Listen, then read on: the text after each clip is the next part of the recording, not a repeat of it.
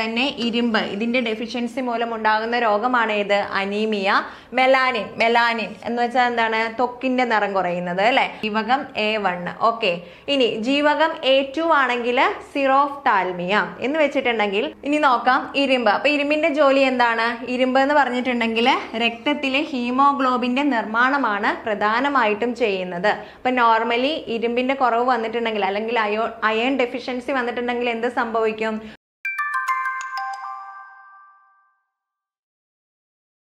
Hi all welcome to competitive cracker എന്റെ പേര് ദിവ്യ K Jose അപ്പോൾ നമ്മൾ ഇന്ന് നോക്കാനായിട്ട് പോകുന്നത് സി എസ് സി ബി എക്സാമിന് ജനറൽ സയൻസിൽ നിന്ന് പൊതുവായി വരുന്ന ഒരു ടോപ്പിക്കാണ് വൈറ്റമിൻസും അതിന്റെ അപര്യാപ്ത രോഗങ്ങൾ അല്ലെങ്കിൽ വൈറ്റമിൻസിന്റെ ശരിയായിട്ടുള്ള ശാസ്ത്രീയ നാമം എന്താണെന്നൊക്കെയുള്ളത്.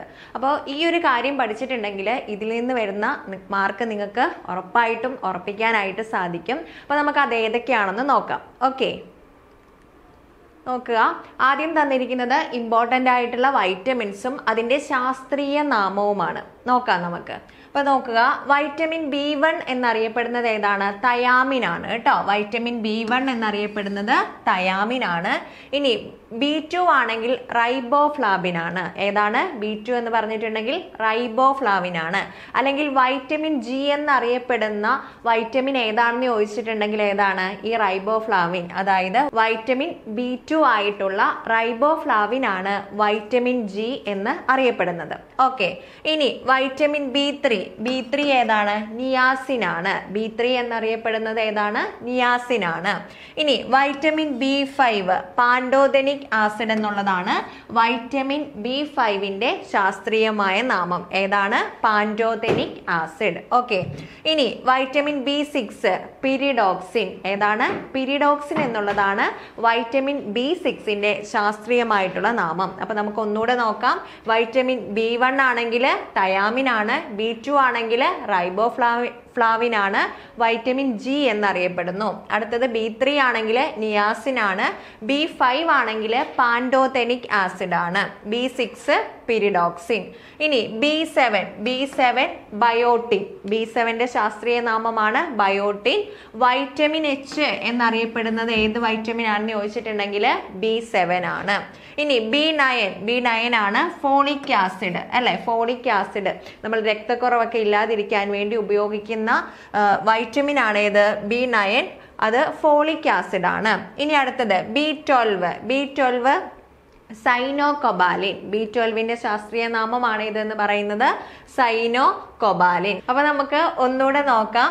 ജീവകവും അതിന്റെ ഇമ്പോർട്ടന്റ് ആയിട്ടുള്ള ശാസ്ത്രീയ നാമവും. പഠിച്ചിരിക്കുക. B one thiamine B two riboflavin B three niacin B five pantothenic acid B six pyridoxine B seven biotin then B nine folic acid B twelve cyanocobalamin ഇതിൽ ബി ടു ആണ് വൈറ്റമിൻ ജി എന്നറിയപ്പെടുന്നത്. അതുപോലെ തന്നെ B seven ആണ് biotin ആണ് vitamin H എന്നറിയപ്പെടുന്നത്. അപ്പോൾ അത് രണ്ടും കൂടെ ഒന്ന് ഓർത്ത് വെച്ചേക്കുക. ഇനി നമ്മൾ നോക്കാനായിട്ട് പോകുന്നത് ഇതിന്റെ ശാസ്ത്രീയ നാമം കണ്ടു. ഇനി ഇതിന്റെ അപര്യാപ്ത രോഗ രോഗങ്ങളാണ്. എന്ന് വെച്ചാൽ എന്താണ്? ആ ഈ വൈറ്റമിൻസിന്റെ കുറവ് മൂലം ഡെഫിഷ്യൻസി മൂലം ഉണ്ടാകാവുന്ന രോഗങ്ങളാണ് നമ്മൾ നോക്കാനായിട്ട് പോകുന്നത്. ഇതും വളരെ ഇമ്പോർട്ടന്റ് ആണ്. ഇതിലേതെങ്കിലുമൊക്കെ എപ്പോഴും എക്സാമിന് മാറി മാറി ചോദിക്കുന്നതാണ്. അപ്പം നമുക്ക് നോക്കാം. നോക്കുക.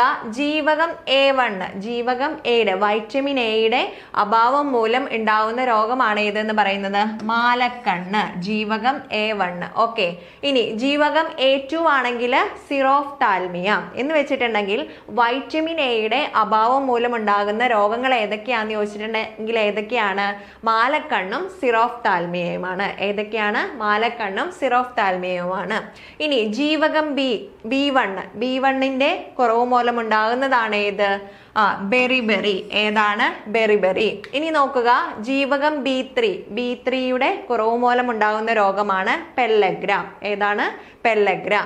ഇനി ജീവകം ബി നയൻ. ബി നയൻ എന്ന് വെച്ചിട്ടുണ്ടെങ്കിൽ ഏതാണ്? ഫോളിക് ആസിഡ് ആണ് അല്ലെ? അപ്പോൾ ഫോളിക് ആസിഡിന്റെ കുറവ് മൂലം ഉണ്ടാകുന്നതാണ് മെഗലോ ബ്ലാസ്റ്റിക് അനീമിയ. എന്താണ്? രക്തത്തിന്റെ കുറവ് മൂലം നമ്മുടെ കണ്ണിലൊക്കെ രക്തമില്ലായ്മ അനുഭവപ്പെടുന്നില്ലേ? അതാണ് മെഗലോബ്ലാസ്റ്റിക് അനീമിയ എന്ന് പറയുന്നത്. ഇനി ജീവകം ബി ട്വൽവ് ജീവകം ബി ട്വൽവിന്റെ കുറവ് മൂലം ഉണ്ടാവുന്നതാണ് പെർനേഷ്യസ് അനീമിയ അപ്പൊ അനീമിയയുടെ പല വകഭേദങ്ങളാണ് പറഞ്ഞിരിക്കുന്നത്. ബി നയൻ ആണെങ്കിൽ മെഗലോബ്ലാസ്റ്റിക് അനീമിയയും അതുപോലെ തന്നെ ബി ട്വൽവ് ആണെങ്കിൽ പെർനീഷ്യസ് അനീമിയയുമാണ് ഇനി വൈറ്റമിൻ സി അതായത് ജീവകം സി അല്ലെ? ജീവകം സിയുടെ കുറവ് മൂലം ഉണ്ടാവുന്ന രോഗമാണ് ഇതെന്ന് പറയുന്നത് സ്കർവി. എന്താണ്? സ്കർവി. നാവികരുടെ പ്ലേഗ് എന്നൊക്കെ അറിയപ്പെട്ടിരുന്ന രോഗമായിരുന്നു ഏത്? സ്കർവി. ഇനി ജീവകം ഡി. ജീവകം ഡിയുടെ അപര്യാപ്തത മൂലം ഉണ്ടാവുന്ന രോഗമാണ് ഏതൊക്കെ? റിക്കറ്റ്സ്. റിക്കറ്റ്സ് അല്ലെങ്കിൽ കണ എന്നറിയപ്പെടും. ഓക്കെ. ഇനി ജീവകം ഇ വൈറ്റമിൻ ഇയുടെ കുറവ് മൂലം ഉണ്ടാകുന്ന രോഗമാണ് വന്ധ്യത അല്ലെങ്കിൽ ഇൻഫെർട്ടിലിറ്റി. ഇനി മാംസ്യം. മാംസ്യം എന്ന് വെച്ചാൽ എന്താണ്? പ്രോട്ടീൻ ആണ് അല്ലേ? അപ്പോൾ ഈ പ്രോട്ടീനിന്റെ അഭാവം മൂലം ഉണ്ടാകുന്ന രോഗങ്ങൾ ഏതൊക്കെയാന്ന് വെച്ചിട്ടുണ്ടെങ്കിൽ ക്യോഷിയോർക്കറും മരാസ്മസുമാണ്. ഏതൊക്കെയാണ്? കോഷിയോർക്കറും മരാസ്മസുമാണ്. അപ്പോൾ ഒന്നുകൂടെ നോക്കാം. ജീവകം എ വണ്ണ് മാലക്കണ്ണ് ജീവകം എ ടു സിറോഫ് താൽമിയ ജീവകം ബി വണ്ണ് ബെറിബെറി ജീവകം ബി ത്രീ പെല്ലഗ്ര ദെൻ ജീവകം B nine megaloblastic anaemia then ജീവകം ബി ട്വൽവ് പെർണീഷ്യസ് അനീമിയ ജീവകം സി വൈറ്റമിൻ സി അല്ലെ? വൈറ്റമിൻ സിയുടെ അഭാവം മൂലം ഉണ്ടാവുന്നതാണ് സ്കർവി ദെൻ ജീവകം ഡി റിക്കറ്റ്സ് അല്ലെങ്കിൽ കണ ദെൻ ജീവകം ഇ വന്ധ്യത ദെൻ മാംസ്യം. മാംസ്യം അല്ലെങ്കിൽ പ്രോട്ടീനിന്റെ അഭാവം മൂലം ഉണ്ടാകുന്ന രോഗങ്ങളാണ് കോഷിയോർക്കറും മരാസ്മസും. ഓക്കെ ക്ലിയർ ആയെന്ന് വിചാരിക്കുന്നു. ഇനി നോക്കുക ഹീമോഗ്ലോബിൻ. അല്ലെ? രക്തത്തിലെ ഹീമോഗ്ലോബിന്റെ കുറവ് മൂലം ഉണ്ടാകുന്ന രോഗമാണ് ഏത്? അനീമിയ. അതുപോലെ തന്നെ അയണിന്റെ കുറവ് മൂലം ഉണ്ടാകുന്ന രോഗം ഏത് തന്നെയാണ്? അനീമിയാണ് ഇനി അടുത്തത് നോക്കുക മെലാനിൻ. മെലാനിന്റെ കുറവ് മൂലം ഉണ്ടാകുന്നതാണ് വെള്ളപ്പാണ്ട് അല്ലെങ്കിൽ എന്തെന്ന് പറയും? ആൽബനിസം എന്ന് പറയും. എന്താണ്? വെള്ളപ്പാണ്ട് അല്ലെങ്കിൽ ആൽബനിസം എന്ന് പറയും. അടുത്തത് ഇനി നോക്കാനായിട്ട് പോകുന്നത് സൊമാറ്റോട്രോഫിൻ ആണ് അപ്പൊ സൊമാറ്റോട്രോഫിന്റെ അഭാവം മൂലം ഉണ്ടാകുന്നതാണ് ഏത്? വാമനത്വം. ഇനി ഇൻസുലിൻ നമുക്കറിയാവുന്നതാണ് അല്ലെ? ഇൻസുലിന്റെ കുറവ് മൂലം ഉണ്ടാകുന്നതാണ് ഏതെന്ന് പറയുന്നത്? ഡയബറ്റിക് മെലിറ്റസ് എന്ന് പറയുന്നത്. ഇനി വാസോപ്രിസിന്റെ കുറവ് മൂലം ഉണ്ടാകുന്നതാണ് ഏത്? Diabetic insipidus. എന്തൊക്കെയാണ്? ഇൻസുലിന്റെ കുറവ് മൂലം ഉണ്ടാകുന്നതാണ് ഡയബറ്റിക് മെലിറ്റസും. ഇനി വാസോപ്രസിന്റെ കുറവ് മൂലം ഉണ്ടാകുന്നതാണ് ഡയബറ്റിക് ഇൻസിപ്പിഡസും. തൈറോക്സിന്റെ കുറവും അതുപോലെ തന്നെ അയോഡിന്റെ കുറവ് മൂലം ഉണ്ടാകുന്ന രോഗമാണ് ഏത്? ആ ഗോയിറ്റർ അല്ലെ? തൊണ്ടമുഴ എന്നറിയപ്പെടുന്ന ഗോയിറ്റർ. അപ്പം നിങ്ങൾ ഇത് കാര്യമൊന്നും അറിഞ്ഞിരിക്കേണ്ട. ജസ്റ്റ് എന്ത് ചെയ്യുക? നിങ്ങൾ ഇതൊന്ന് ഏതൊക്കെ രോഗങ്ങളാണ് അഭാവം മൂലം ഉണ്ടാകുന്നത് എന്നൊന്ന് മനസ്സിലാക്കി വെച്ചേക്കുക. ഒന്നുകൂടെ പറയാം. ഹീമോഗ്ലോബിൻ അതുപോലെ തന്നെ ഇരുമ്പ്. ഇതിന്റെ ഡെഫിഷ്യൻസി മൂലം ഉണ്ടാകുന്ന രോഗമാണ് ഏത്? അനീമിയ. മെലാനിൻ മെലാനിൻ എന്ന് വെച്ചാൽ എന്താണ്? തൊക്കിന്റെ നിറം കുറയുന്നത് അല്ലേ? അതാണ് വെള്ളപ്പാണ്ട് അല്ലെങ്കിൽ ആൽബനിസം എന്ന് പറയും. സൊമാറ്റോട്രോഫിൻ ആണെങ്കിൽ വാമനത്വം. ദെൻ ഇൻസുലിൻ ആണെങ്കിൽ ഡയബറ്റിക് മെലിറ്റിസും വാസോപ്രിസിൻ ആണെങ്കിൽ ഡയബറ്റിക് ഇൻസെപ്പിഡസും തൈറോക്സിന്റെയും അയഡിന്റെയും കുറവ് മൂലം ഉണ്ടാകുന്നതാണ് ഏത്? ഗോയിറ്റർ. തൈറോക്സിൻ ഗ്രന്ഥി വികസിക്കുമ്പോൾ ഉണ്ടാവുന്നതാണ് ഏതെന്ന് പറയുന്നത്? ഗോയിറ്റർ എന്ന് പറയുന്നത്. അപ്പോൾ നമ്മൾ എന്തൊക്കെ നോക്കി? നമ്മൾ ആദ്യം വൈറ്റമിൻസിന്റെ ഇമ്പോർട്ടന്റ് ആയിട്ടുള്ള വൈറ്റമിൻസിന്റെ ശാസ്ത്രീയ നാമങ്ങൾ നോക്കി. അതിനുശേഷം എന്താണ്? അതിനെ ബേസ് ചെയ്തിട്ടുള്ള അപര്യാപ്തമായിട്ടുള്ള രോഗങ്ങൾ നോക്കി. അപ്പൊ നിങ്ങൾക്കറിയാം സി എസ് സി ബിയുടെ എക്സാമിൽ ജനറൽ പാർട്ടിന് അത്യാവശ്യം തന്നെ ഇമ്പോർട്ടൻസ് ഉണ്ട് എന്ന് നിങ്ങൾക്കറിയാം. അതുകൊണ്ടാണ് നമ്മൾ ഈ ഒരു മേഖലയിലുള്ള ടോപ്പിക്ക് നമ്മൾ സെലക്ട് ചെയ്തത്. സ്ഥിരം ക്വസ്റ്റ്യൻ വരുന്ന ഒരു മേഖലയാണ് ഏതെന്ന് പറഞ്ഞിട്ടുള്ളത്. ഈ വൈറ്റമിൻസും അതിനെ ബേസ് ചെയ്തിട്ടുള്ള ശാസ്ത്രീയ നാമങ്ങളും അപര്യാപ്ത രോഗങ്ങളും. അപ്പം ഇങ്ങനെ എക്സാം പോയിന്റ് ഓഫ് വ്യൂവിൽ നിങ്ങൾ എന്ത് ചെയ്യുക നിങ്ങൾ ഏത് ടോപ്പിക് ആയാലും നിങ്ങളുടെ സബ്ജക്റ്റ് വൈസ് ടോപ്പിക് ആയാലും അതുപോലെ തന്നെ ജനറൽ വൈസ് ആയിട്ടുള്ള ടോപ്പിക് ആയാലും സെലക്ട് ചെയ്ത് പഠിക്കുക. അപ്പം നമ്മൾ പ്രതീക്ഷിച്ചിരിക്കുന്ന പോലെ ഇനി എന്താണ് മൂന്ന് മാസം കഴിയുമ്പോഴത്തേക്കും അടുത്തൊരു എക്സാം വരും അല്ലേ? നിങ്ങൾ എക്സാമിന് അപ്ലൈ ചെയ്തിട്ടുണ്ടെന്ന് വിചാരിക്കുന്നു. അപ്ലൈ ചെയ്യാത്തവര് ജൂലൈ രണ്ട് വരെ അപ്ലൈ ചെയ്യാനുള്ള ഡേറ്റ് ഉണ്ട്. അപ്പൊ അതിനുള്ളിൽ അപ്ലൈ ചെയ്യാനായിട്ട് ശ്രദ്ധിക്കുക. നോക്കുക കാറ്റഗറി നമ്പർ എന്ന് പറയുന്നത് മൂന്ന് ബാർ രണ്ടായിരത്തി ഇരുപത്തിനാലാണ്. അപ്പം അപ്ലൈ ചെയ്തിട്ട് ഇനിയും പഠിച്ചു തുടങ്ങിയിട്ടില്ലാത്തവരുണ്ടെങ്കിൽ നമ്മൾ പുതിയ ബാച്ച് നയന്റി ഡേയ്സിന്റെ ടൈം ടേബിൾ വെച്ച് സ്റ്റാർട്ട് ചെയ്തിട്ടുണ്ട്. എന്ന് വെച്ചിട്ടുണ്ടെങ്കിൽ എക്സാം പോയിന്റ് ഓഫ് വ്യൂവിൽ സിലബസ് പ്രകാരം കറക്റ്റായിട്ട് ടോപ്പിക് വൈസ് ആണ് നിങ്ങൾക്ക് ക്ലാസ്സുകൾ തരുന്നത്. ഫ്രീ മെന്റർഷിപ്പോട് കൂടി ലൈവ് ക്ലാസ്സുകളോട് കൂടി മോഡൽ എക്സാംസോട് കൂടിയാണ് നിങ്ങൾക്ക് ക്ലാസ്സുകൾ പ്രൊവൈഡ് ചെയ്യുന്നത്. അപ്പോൾ തന്നെ പഠിച്ചെത്താത്തവർ അല്ലെങ്കിൽ തന്നെ പഠിച്ച് കോൺഫിഡൻസ് ഇല്ലാത്തവരൊക്കെ എത്രയും വേഗം നമ്മുടെ ബാച്ചിൽ ജോയിൻ ചെയ്യാനായിട്ട് ശ്രദ്ധിക്കുക. അതുപോലെ തന്നെ നിങ്ങൾക്ക് ഈ ഒരു എക്സാമിനെ കുറിച്ചുള്ള കൂടുതൽ നോട്ട്സും കാര്യങ്ങളും ഒക്കെ അറിയാനായിട്ട് നമുക്കൊരു ഫ്രീ വാട്സപ്പ് ഗ്രൂപ്പ് ഉണ്ട്. അപ്പോൾ അതിന്റെ ലിങ്ക് ഡിസ്ക്രിപ്ഷനിൽ കൊടുത്തേക്കാം. അപ്പോൾ എന്ത് ചെയ്യുക നിങ്ങൾ അതിലൊന്ന് ജോയിൻ ചെയ്യാനായിട്ട് ശ്രദ്ധിക്കുക. അതുപോലെ തന്നെ വേറൊരു കാര്യമുള്ളത് നമ്മുടെ കോഴ്സിൽ ജോയിൻ ചെയ്യാൻ താല്പര്യമുള്ളവർ ഒന്നും ബുദ്ധിമുട്ടേണ്ട ബുദ്ധിമുട്ടണ്ട.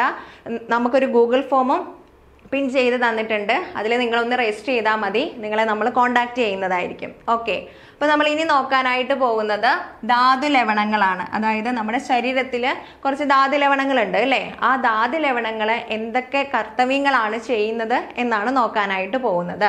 ഇനി നോക്കാം. ഇരുമ്പ്. അപ്പോൾ ഇരുമ്പിന്റെ ജോലി എന്താണ്? ഇരുമ്പ് എന്ന് പറഞ്ഞിട്ടുണ്ടെങ്കിൽ രക്തത്തിലെ ഹീമോഗ്ലോബിന്റെ നിർമ്മാണമാണ് പ്രധാനമായിട്ടും ചെയ്യുന്നത്. അപ്പോൾ നോർമലി ഇരുമ്പിന്റെ കുറവ് വന്നിട്ടുണ്ടെങ്കിൽ അല്ലെങ്കിൽ അയോ അയൺ ഡെഫിഷ്യൻസി വന്നിട്ടുണ്ടെങ്കിൽ എന്ത് സംഭവിക്കും? അവിടെ ഹീമോഗ്ലോബിന്റെ നിർമ്മാണം കുറയും. അതാണ് എന്തിന് കാരണമാകുന്നത്? അനീമിയയ്ക്ക് കാരണമാകുന്നത്.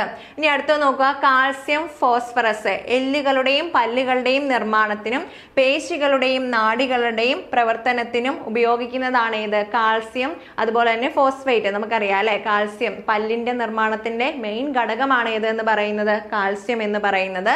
അപ്പോൾ ഓർത്ത് വെക്കുക. കാൽസ്യവും ഫോസ്ഫറസും എല്ലുകളുടെയും പല്ലുകളുടെയും നിർമ്മാണത്തിനും പേശികളുടെയും നാടികളുടെയും പ്രവർത്തനത്തിനുമായിട്ടാണ് ഉപയോഗിക്കുന്നത്. ഇനി സോഡിയം ആണെങ്കിലോ സോഡിയം ശരീരത്തിൽ ആവശ്യമായ ജലം നിലനിർത്തുന്നതിന് സഹായിക്കുന്നു. അപ്പൊ സോഡിയം നമുക്ക് വളരെ കുറച്ച് മതിയെങ്കിൽ പോലും അതിന്റെ കുറവ് എന്താണ്? വളരെ അഫക്റ്റ് ചെയ്യും. സോ സോഡിയം എന്താണ്? ശരീരത്തിൽ ആവശ്യമായ ജലം നിലനിർത്തുന്നു. ഇനി അയഡിൻ ആണെങ്കിലോ തൈറോയിഡ് ഗ്രന്ഥിയുടെ ശരിയായ പ്രവർത്തനത്തിനും മാനസിക വളർച്ചയ്ക്കും സഹായിക്കുന്ന ധാതു ലവണമാണ് ഏത് എന്ന് പറയുന്നത്? അയഡിൻ എന്ന് പറയുന്നത്. അപ്പൊ നോക്കുക ഇരുമ്പ് എന്തിനാണ് ഉപയോഗിക്കുന്നത്? ഹീമോഗ്ലോബിന്റെ നിർമ്മാണമാണ് ചെയ്യുന്നത്. കാൽസ്യം ഫോസ്ഫറസും ആണെങ്കിൽ എല്ലുകളുടെയും പല്ലുകളുടെയും അതുപോലെ തന്നെ പേശി പ്രവർത്തനങ്ങളിലെയൊക്കെയും അല്ലെങ്കിൽ എന്താണ് നാടികളുടെയൊക്കെ നിർമ്മാണത്തിനായിട്ടാണ് ഏത് യൂസ് ചെയ്യുന്നത്? കാൽസ്യവും ഫോസ്ഫറസും യൂസ് ചെയ്യുന്നത്. ഇനി സോഡിയം ആണെങ്കിൽ ശരീരത്തിൽ ആവശ്യമായ ജലം നിലനിർത്താനായിട്ട് സഹായിക്കുന്ന ധാതുവാണ് ഏതെന്ന് പറയുന്നത്? സോഡിയം എന്ന് പറയുന്നത്. അയഡിൻ ആണെങ്കിൽ തൈറോക്സ് ഗ്രന്ഥിയുടെ ശരിയായ പ്രവർത്തനത്തിനും മാനസിക വളർച്ചയ്ക്കും യൂസ് ചെയ്യുന്നതാണ് ഏത്?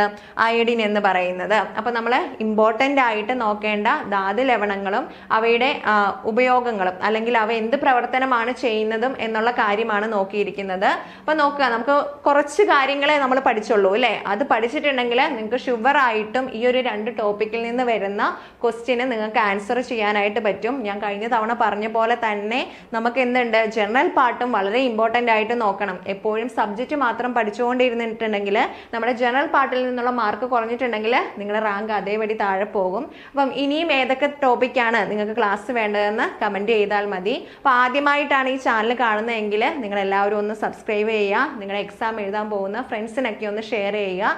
അപ്പോൾ വീണ്ടും മറ്റൊരു വീഡിയോയുമായിട്ട് കാണാം. താങ്ക്